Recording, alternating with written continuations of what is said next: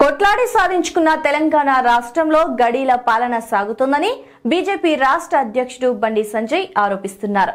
కేసీఆర్ మాటల గారడితో ప్రజలను మోసం చేస్తున్నారని కేంద్ర ప్రభుత్వ పథకాలను సైతం తమవిగా చెప్పుకుంటూ పబ్బం గడుపుకుంటున్నారని తీవ్ర విమర్శలు చేస్తున్నారు. రాష్ట్రంలో అవినీతి అక్రమాలు విపరీతంగా పెరిగిపోయాయని ప్రభుత్వ వైఫల్యాలపై ప్రశ్నించే వారిపై అక్రమ కేసులని బనాయిస్తూ వేధింపులకు పాల్పడుతున్నారని ప్రజలకు సభల ద్వారా వివరిస్తున్నారు. తెలంగాణ ప్రజలను చైతన్యవంతులను చేసి గడిల పాలన నుంచి విముక్తి కల్పించేందుకే ప్రజా సంగ్రామ యాత్ర చేపట్టినట్లుగా వివరిస్తున్నారు. కేసీఆర్ ఉమ్మడి పాలమూరు జిల్లా వేదికగానే తెలంగాణ ఉద్యమం సాగించాడు. రాష్ట్రం వచ్చిన వెంటనే కృష్ణానది నీళ్ళు తెచ్చి ఆ ప్రాంత రైతుల కాళ్ళు కడుగుతా అన్నాడు. పాలమూరు రంగారెడ్డి ప్రాజెక్టు సాధించి జిల్లాను సస్యశ్యామలం చేస్తానన్నాడు. వలసలు ఆగుతానన్నాడు. కానీ ఈ హామీల్లో ఒక్కటైనా నెరవేర్చాడా అని నిలదీస్తున్నాడు. బండి సంజయ్ యాత్రకి పాలమూరు ప్రజల నుంచి మంచి స్పందన వస్తుండటంతో పార్టీ క్యాడర్లో జోష్ కనిపిస్తుంది. ఎక్కడికి వెళ్ళినా ప్రజలు తమ కన్నీళ్ళ గాథలను బీజేపీ అధ్యక్షుడికి చెప్పుకుంటున్నారు. ఈ నేపథ్యంలో టీఆర్ఎస్కి ఏకైక ప్రత్యామ్నాయం బీజేపీయే అన్న భావన ప్రజల్లో వచ్చిందని అందుకే వేలాది మంది ప్రజలు స్వచ్ఛందంగా తన పాదయాత్రలో పాల్గొంటున్నారని కాషాయ నేతలు అంచనా వేస్తున్నారు. తెలంగాణలో పార్టీ బలపడుతున్న వేళ బీజేపీలో నేతల మధ్య భేదాభిప్రాయాలు బయటపడుతున్నాయి. అధికారంలోకి వస్తామని నమ్మకం కలుగుతుండటంతో పార్టీలో తానంటే తాను కీలకం అన్నట్లు కొంతమంది ప్రచారం చేయించుకుంటున్నారు. సోషల్ మీడియాలో బలంగా ఉన్న బీజేపీ అదే అస్త్రంతో తమ స్థాయిని పెంచి ప్రచారం చేయించుకుంటున్నారు. సీఎం అభ్యర్థిపై కూడా చర్చ జరుపుతున్నారు. గ్రూపులు కూడా కడుతున్నారు.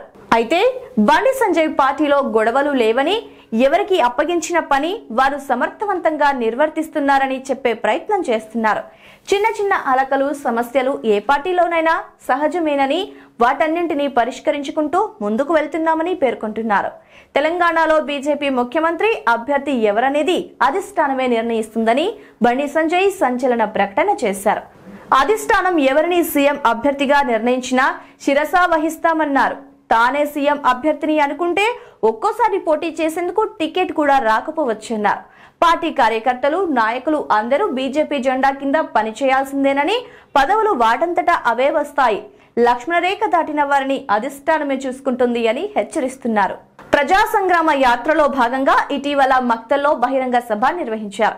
ఈ సందర్భంగా మాజీ ఎంపీ జితేందర్ రెడ్డి మాట్లాడుతూ కేసీఆర్ కూర్చున్న సీటులో బండి సంజయ్ కూర్చుంటేనే రాష్ట్రంలో సమస్యలు పరిష్కారం అవుతాయని సంచలన కామెంట్స్ చేశారు.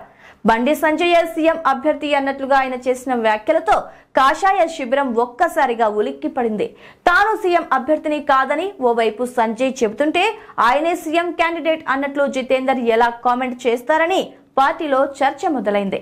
దీంతో జితేందర్ రెడ్డి వ్యాఖ్యలు మిస్ ఫైర్ కాకుండా రంగంలోకి దిగిన బండి సంజయ్.